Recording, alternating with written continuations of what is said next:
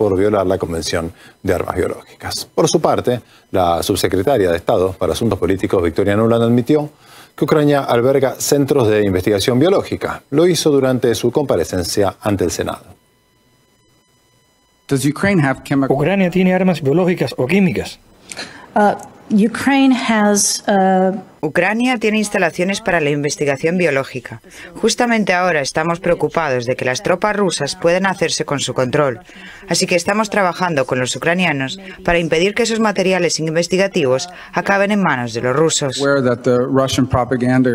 Seguramente está al tanto de que la propaganda rusa está divulgando información de cómo han descubierto un plan de los ucranianos para usar armas biológicas en coordinación con la OTAN.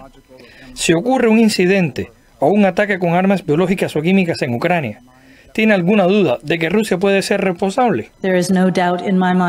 No hay ninguna duda, senador. Es una técnica clásica de los rusos, culpar al otro de lo que planean hacer ellos mismos. El Ministerio de Defensa de Rusia había informado sobre las instalaciones en cuestión cerca de la frontera. Según indica el portavoz de la cartera, en ellos se desarrollaban componentes de armas biológicas.